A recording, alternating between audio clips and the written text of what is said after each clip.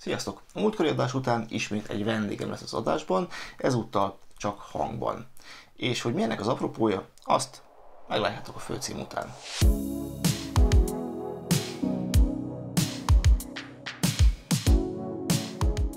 Sziasztok! Egy Csermák Szabolcs etikus hacker, ez pedig a csütörtöki hack 4. évad második része, és ahogy mondtam, a mai adásban ismét van egy vendégem, aki nem más, mint Taró, Hogyha valaki nem ismeri Tarót, akkor Taró a Dragonshot csatornának a házigazdája, elég sok videót pakolt ő föl hacking témában, és hát tudjátok, én mindig mondom azt, hogy a, a fiatalok azok mennyire menők, hogy mennyire jól képzik magukat, és tőlem nagyon sokszor kérdezitek azt, hogy mit érdemes tanulni, hogy érdemes elkezdeni ezt az egészet, úgyhogy talán térjünk erre rá.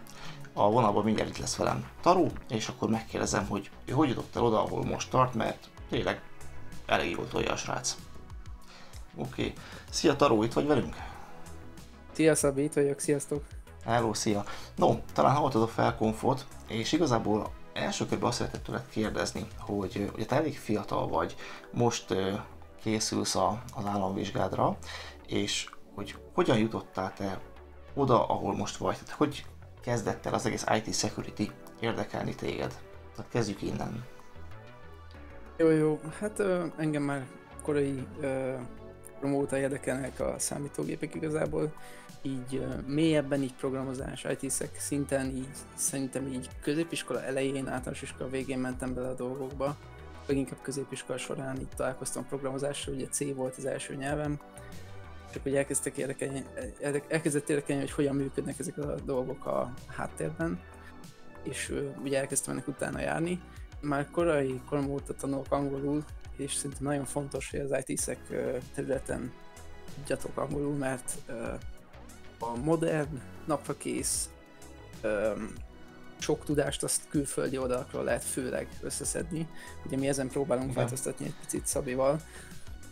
Abszolút, abszolút egyetértek, és egyébként az a durva, nem tudom te hogy veszed észre, hogy mondjuk aki nálam iratkozik be a tanfolyamra, azok talán egy hogy nem azt mondom, hogy idősebb, de nem az a nagyon fiatal korosztály. Tehát ott van, hogyha megnézed például a CTF csapatunkban Matesz, aki még nálad is jóval fiatalabb, meg akikkel találkoztam így nagyon fiatal hacker palantákkal, és gyakorlatilag kenik vágják az angolt. Tehát szerintem sokkal jobban beszélnek angolul, mint például én, és baromi gyorsan tudnak fejlődni.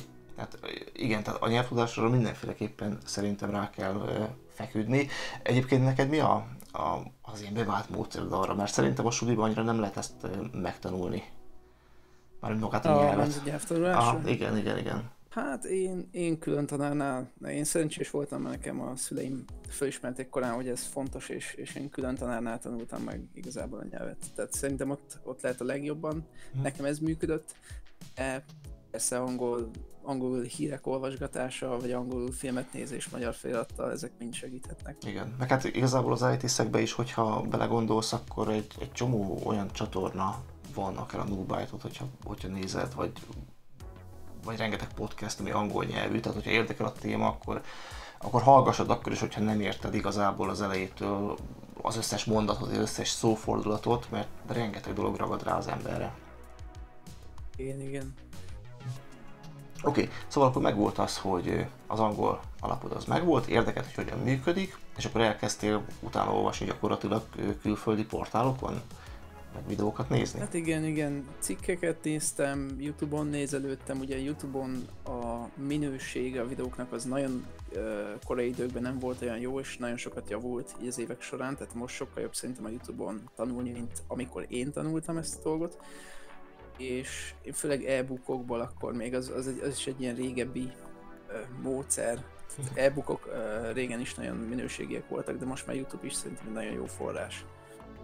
Igen, Illetve igen. külföldi cikkek. Illetve, hogyha valaki, tehát te, az is, az is, uh, tehát az is fontos, hogy melyik része az IT security-nek érdekel valakit ha inkább így a network pentesting, akkor mindenképp egy ilyen gyakorlatorientált platformra érdemes regisztrálni, mint a TryHack Me, akkor ott végigmenni. Hogyha inkább a bug bounty, akkor um, érdemes olvasgatni a bug bounty oldalaknak a nyilvános bounty-ait, hogy mások hogyan mm. találták meg a hibákat, amiket találtak.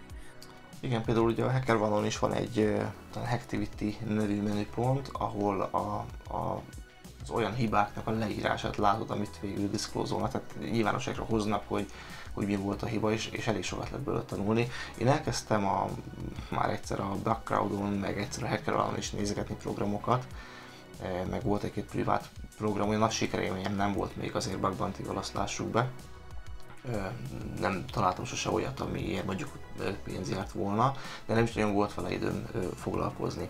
Egyébként említetted a, a, a Hack the Box-ot, meg a, meg a Try Me-t, de azt mikor kezdted el már használni? Tehát mikor már egy csomó cikket elolvastál a témából, meg csomó videót megnéztél és érdekelt, és akkor elkezdted valahogy, vagy, vagy egyszer csak beleugrottál, és, és elkezdett tanulni. Ugye a TryHack minél ott, ott tudsz regisztrálni, és vannak olyan roomok, olyan szobák, ahol gyakorlatilag lépésről lépésre akár végigvezetnek azon, hogy mit kell csinálni. A Hack the Box-nál ott más a szitu, mert ott igazából önmagadat be kell hackelni a rendszerbe ahhoz, hogy, hogy részt tudj venni, tehát van egy ilyen előszűrő rögtön.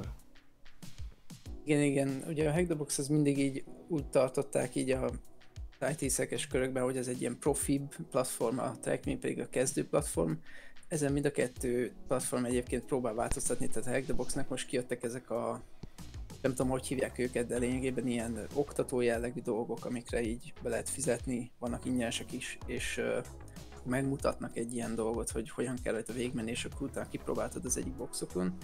Én sajnos nagyon későn kezdtem el ezeket a gyakorlatot, én nagyon sok elméletet építettem föl, ötnek a gyakorlatnak, Azért, mert nem tudtam, hogy ezek a platformok léteznek, mert Acme az, az nagyon új platform egyébként, tehát ez nem is olyan nagyon régóta van. Hack the Box is egész új, az meg picit régebbi, de én nem tudtam a létezésekről őszintén. Uh-huh. Tehát én, én elmélet, elméletben mélyültem el, és uh, Wunhub, Wunhubot azt ismertem, és az, az egy ilyen nagyon régi Igen. Um, Volnabot én, gépeket lehet én akkor, akkor, akkor, használtam, és akkor került nekem a látóköröm, amikor az OSCP-re készültem. Tehát ugye az ember keresett uh, ilyen OSCP-like gépeket, és hát rögtön a Wunhubot uh, adta ki. Egyébként, ha jól tudom, akkor a, az OffSec az azóta a Wunhubbal uh, össze is hozott valami együttműködést. Igen, igen, az OffSec az most egy hivatalos szponzorja lett a Wunhubnak, ha jól tudom. Uh-huh. Illetve az OffSecnek is van most már egy ilyen tréning laborja, ahol retired, tehát égi vizsgagépeket, de vizsgagépeken lehet gyakorolni, illetve vulnábos gépeken, amiket úgy tartanak, hogy OSCP-hez hasonló gépek, azokat építették ott fel egy ilyen infrastruktúrába, és azokon lehet gyakorolni. Tehát most már az offsec is van egy ilyen nagyon hasonló ilyen King laborja, ahol lehet gyakorolni a vizsgára attól függetlenül, hogy befizetsz a kurzusra és a vizsgára, vagy nem. Tehát ez egy teljesen igen, külön dolog. Igen, igen. Jó, még egy kérdés. Ö, igazából ö, mondtad azt, hogy te már tanultál programozni is. Nagyon sokan kérdezik azt, hogy milyen programnyelvet érdemes megtanulni.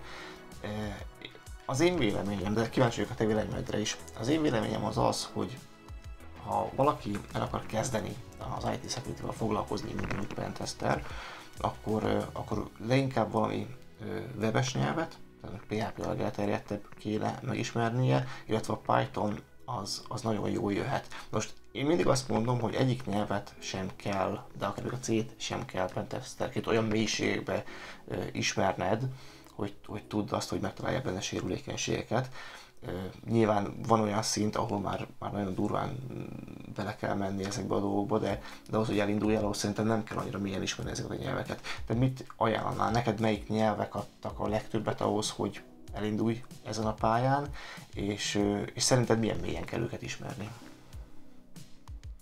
Szerintem a C az nagyon jó, de egyben azt is mondanám, hogy a C az egy kifejezetten nehéz kezdőnyelv, tehát, hogyha valaki uh, nem akar annyit szenvedni, akkor, akkor mindenképp jobb egy Pythonnal kezdeni. Igen, még a C-t ezt nem is mondanám kezdőnyelvnek azért. Tehát a, igen, a, C, a C az mindent megcsinál, amit mondasz neki, és ebből azért vannak érdekes fagyások, amikor az ember tanulja a, a nyelvet. Igen, igen. A C pont arra jó, hogy megtanít arra, hogy, hogy mindenre odafigyelj, de, de sokkal nehezebb megtanulni, mint egy Python. Tehát, ha szerintem logikusabb úgy felépíteni, hogy először Python tanulja meg az ember, utána megy a C-re, meg az ilyen hasonló uh, uh-huh. fordítós nyelvekre rá. hát webes nyelvek, PHP-t szerintem nyugodtan tanulhatjátok webes nyelvnek, hogyha nem nagyon terveztek olyan appot készíteni, amit ki szeretnétek tenni nyilvánosságra, mert um, abból ugye lehetnek problémák, hogyha valaki tanuló programozó és kirak a netre egy PHP Igen. appot. Igen. Ez tipikus ez, ez egy örök, örök, örök téma egyébként, tehát ugye én szoktam mondani ott a Discord szerveren is, hogy néha úgy érzem, hogy divat lett ugye a PHP-t fikázni, hogy úristen, abban mennyi sérülékenység van, holott a, a PHP-s alkalmazások sérülékenységének a 99,99 vagy nem tudom, iszonyat nagy százaléka az nem abból fakad, hogy maga a PHP nyelv szar lenne, hanem sokkal inkább abból, hogy a PHP is egy olyan egyszerű nyelv, hogy tudod, hogy szokták mondani, hogy, hogy minden hülye képes megtanulni, és ezért sok hülye meg is tanulja, aki utána nem figyel arra oda, hogy hogy kéne, és tényleg én is voltam hülye benne, tehát nekem is az első rendszer, amit egy hét alatt megtudtam a PHP-t, mert kellett és kiraktam, és utána azt a rendszert törték hülyére, tehát én így indultam el az IT security vonalon. Tehát persze lehet az ember a kezdő, meg minden, csak oda kell figyelni, tehát ne, nem feltétlenül a nyelvet kell hibáztatni. Persze azért lássuk be, és erre egyébként Taró nagyon jó rávilágított nekem, mert hogy igazából a diplomunkája is ezzel kapcsolatos, hogy a PHP-nek a kezdeti verziói, verzióiban azért voltak igen durva sérülékenységek, de szerintem erről talán majd egy későbbi részben tudunk beszélni, hogyha, hogyha te is úgy gondolod. Persze, tudunk erről beszélgetni, igen. Jó, térjünk vissza a, a tanulásra. Ugye van Hack the Box, van uh, TryHack Me, vannak ezek a platformok, amik igazából tök arra, hogy gyakoroljál, de amire én tavaly rájöttem, és egy több részben is mondtam, hogy a CTF az valami, a Capture the Flag versenyek, az valami iszonyat boostot tudnak adni az ember tanulásának. Egyrészt azért, mert kompetitív, másrészt pedig azért, mert tudod jó, hogy meg lehet törni adott rendszert, de ha nem jössz el, hogy hogyan, akkor megvárod, hogy kijön a write-up, és abból egy csomót tudsz tanulni. És Taró volt a, az egyik a, a három alapító közül, aki a mi CTF csapatunkat, a, a Lead Boys-t, vagy az ő, ő CTF csapatukat inkább úgy mondom, a Lead Boys-ot megalapította, és utána abba hívtak engem is, hogy vegyek részt, és szerintem az egyik legjobb döntés volt szakmai szempontból, hogy, hogy ebbe beugrottam. Nektek hogy jött az, az ötlet, arról, hogy, hogy megcsináljátok ezt a Lead Boys? Tehát hogy, hogy jött az egész ötlet, hogy kipróbáljátok a CTF-ek világát? Na hát ez úgy jött ez az ötlet, hogy a Tess mondta, hogy ő szeretne menni a HCSC-re, ez a Hungarian Cyber Security Challenge, ez egy uh, ilyen CTF-szerű verseny, évente meg van rendezve, ugye magyar, Igen. tehát a Nemzeti Kibervédelmi Intézet rendezi, ez egy magyar verseny, és oda három fős csapatokba kellett nevezni előző évben. Ugye volt egyéni is, arról lemaradt, Matesz úgy, úgy gondolta, hogy akkor kipróbálja ezt a három főst, és akkor keresett két főt maga mellé, az egyik az én voltam, másik az meg Dova, ő is ugye tagja a, a Lead Boys-nak, és így alakult meg igazából a csapat, tehát egy ilyen három fős csapatként indultunk. Legelső versenyünk az a HCSC 19 volt, 2019-es verseny, egyébként majdnem bejutottunk a döntőbe, úgyhogy előtte ilyetünkben látott egyikünk se CTF-et, 12-ek lettünk, az első 10 jut be a döntőbe, mm. úgyhogy sos épp hogy csak lecsúsztunk róla. De nagyon jó élmény volt, meg nagyon tetszett nekünk, meg rengeteget tanultunk, tehát akkor, akkor jöttünk rá, hogy mekkora potenciál van ebbe a dologba, és akkor onnan ö, döntöttük úgy, hogy akkor csinálunk egy Discord szervet, és akkor ö, kezdjük bővíteni is a csapatot több taggal. Uh-huh. Akkor külföldi CTF-ekre is. Igen, egyébként ez barom jó volt, tehát én igazából ugye tavaly, hát januártól voltam többé-kevésbé aktív tagja a csapatnak, ugye nekem itt a családi elfoglaltságok miatt nem mindig jön össze, hogy részt vegyek, mert ezek a versenyek tipikusan egyébként hétvégén vannak az én nagy bánatomra, de baromi jó volt, és egyébként iszonyat jó volt az, hogy volt egy-két olyan megmérettetés, ahol nagyon jó helyezéseket értünk el, tehát ilyen top 1-2 százalékba kerültünk be, meg top 10-be voltunk. És hát az külön jó értés, hogy 2020-ban ugye a harmadik helyen tudtunk úgy zárni, hogy igazából a csapatban van most nem tudom 6 ember, ugye Taró? Körülbelül. 6 vagy 7. Igen, és előttünk két BMS csapat van, Jóton BMS-ek, a Spement Hex és a Cordamp, akik hát lényegesen nagyobb tag számmal üzemelnek, tehát egy ilyen CTF verseny alkalmával sokkal több ember tud rámozdulni a feladatokra, és mondjuk, hogy ezáltal nagyobb esélyük van arra, hogy több pontot szerezzenek. Egyébként ahhoz képest nem is vagyunk annyira lemaradva, úgyhogy én azt gondolom, hogy nagyon, nagyon szép eredményt sikerült elérni. Taró, te számoltál is valamit, hogy ha ilyen csapattag per pontszám, vagy pontszám per csapattagra levetítjük, akkor hogy alakulna a, a helyezésünk 2020-ra? Igen. Pontszám per csapattagban, tehát hogyha a lényegében azt nézzük, hogy egy ember mennyi pontot tett hozzá a ETF-ekhez, akkor másodikak lettünk az országban, és csak 140 valahány ponttal maradtunk le a elsőktől. Meg persze az, az is fontos, ha? azt is fontos megemlíteni, hogy azért két BMS csapat, ez elég régi játékos már itt a terepen, tehát Igen. nem... Ez már ment Hex évek óta gyakorlatilag ott van mindig, és, és nagyon jó eredményeket érnek el a Kordamp is. Igen, igen. igen.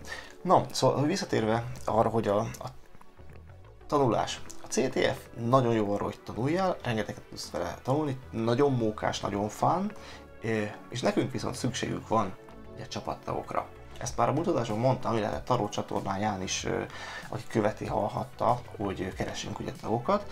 Ez nem újdonság, tehát ha valaki kipróbálna a CTF-et beszállna a Litbois csapatba, akkor hétvégén 16-a, 17-e, ha jól tudom, szombat vasárnap lesz egy kétnapos CTF, amit mi rendezünk. A linket persze berakom majd itt is a, a videó alá, de ami miatt még ez nagyon érdekes számunkra, meg az is, hogy Taró itt van, hogy Taró volt az egyik olyan egyén a csapatból, aki az egész infrastruktúrát ez a CTF-hez összepakolta.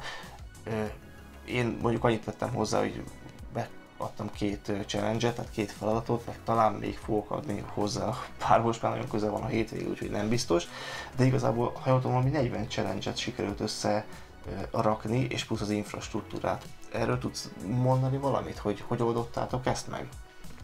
Ugye te, te, te és, és Takov szintén csapattag, ti csináltátok ennek az oroszlán részét. Igen, mi ketten dolgoztunk ezen sokat. Ugye főleg Takov volt az, aki már úgy ö, otthon volt ebben a témában, tehát így az infrastruktúra összerakásban, Dockerben. Voltam az, aki így inkább tanulta ezt a dolgot, de most már egész jól tudom. Azért volt jó ez a CTF összerakás, mert lényegében megtanultam egy teljes szakmának az alapjait, tehát ugye a DevOps vagy DevSecOps van egy ilyen ág az IT-nak, és ebből nem sokat tudtam, de lényegében megtanultam a, ennek az alapjait teljesen, uh-huh.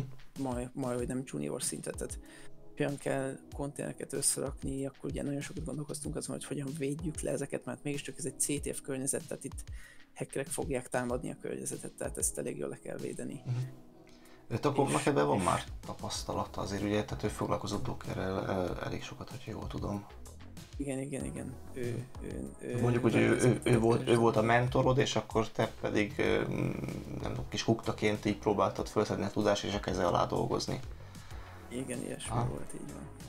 És elszeparáltuk a CTFD platformot használjuk ugye a CTF-re, ez egy ilyen előre elkészített platform CTF szervezésre használják, elszeparáltuk a két szervert, tehát a támadható rész, meg a nem támadható rész teljesen külön van, akkor uh, ilyen alapvédelmi dolgokat beállítottunk, ne legyen SSH, a autentikáció, nem csak public key, raktuk az SSH portot, alacsony portról, valami magas portra, alacsony portra, 22-es portra beraktunk egy Endes SSH nevű ilyen honeypot-szerűséget, ami lényegében azt csinálja, hogy rácsatlakozik valami botnet, és próbálja, vagy botnetnek egy egyik tag, és próbálja törni az SSH-t, akkor ez az Endless SSH végtelenség küld neki vissza a kezdő bannert, tehát így megfogja a botneteket, úgyhogy ez egy elég jó. Akkor ilyesmi hasonló lépéseket tettünk, erről majd tervezünk egy blogposztot írni, csak annyira hosszú lett végül a lista, hogy, hogy ez lehet, hogy meg később fog megjelenni, de majd, megjelen, akkor uh, ahol teszem, aztán megtaláljátok. Jó, szuper, szuper. Mennyi időt toltatok bele ebbe? Tehát azért, amikor én a Discordra fölléptem, akkor azt látom, hogy a Voice-ba két állandó tag volt, és nagyon más senki, ugye Takov és te, és folyamatosan ment a, a megbeszélés gyakorlatilag, hogy akkor mit hogy csináljatok. Tehát szerintem azért több napot bele toltatok ebbe a feladatba. Hát igen, ez egy ilyen egy hét, másfél hét, de úgy, hogy akkor napi 10-12 óra szerintem lehet, hogy meg volt néhány napon. Ja. Elég kemény. sokat, elég sokat. Kemény. Reméljük, hogy jó lesz. Nyilván a puding próbálja az evés, nem csináltunk még olyat. Nekem különösen nagy a számberé, meg pláne, ugye még ezt se csináltam, nagyon kíváncsi leszek. Úgyhogy én azt mondom, hogy tényleg aki, de ezek ugye kezdő szintű, főként kezdő szintű challenge lesznek, tehát hogy aki még a soha nem volt CTF-en, nyugodtan jelentkezzetek, mert nincs veszelni valótok, be lehet ízleni, hogy milyen egy ilyen verseny. Nem tudom most hány regisztrálunk van eddig, de de gyertek, gyertek, úgyhogy simán, simán jó lesz, ezt csak magyaroknak szervezük, és a cél az az lenne, hogy, hogy a csapatunkat bővítsük, tehát a, a három embert azt, azt szeretnénk bevenni a csapatba. Nyilván, hogyha megvan a kémia, meg az, az ember is szeretne részt venni a, a mi csapatunknak a, a tevékenységében, hogy akár 2021-ben már ne csak a dobogónak a legalsó fokán álljunk a, a CTF Time-on évvégén. Jó. Ö, no, Taró, én nagyon szépen köszönöm neked, hogy itt voltál velünk és ezt elmondtad. Remélem, hogy még a jövőben lesznek esetleg közös adásaink, vagy olyan témák, sőt igazából biztos, hogy benne, hogy lesznek olyan, olyan témák, amit esetleg közösen ki tudunk vesézni. Úgyhogy szerintem Taróval még, még fogtok találkozni a csatornán. Ha esetleg kíváncsiak az ő videóira, ami hát főként, hogy mondjam, az ilyen practical hacking videók, tipikusan a régi hackboxos gépeknek a törése és ilyesmi, akkor a Dragon Shot csatornára iratkozzatok fel, ott van egy csomó videója Tarónak, úgyhogy lehet azt is nézni nyugodtan. No, Taró, köszönöm szépen, mi akkor majd hamarosan beszélünk, Jeleztem. és természetesen nektek is köszönöm a figyelmet, remélem, hogy élveztétek ezt az adást is, és ezt a kis beszélgetést, úgyhogy találkozunk a jövő héten. Legyetek jók, sziasztok!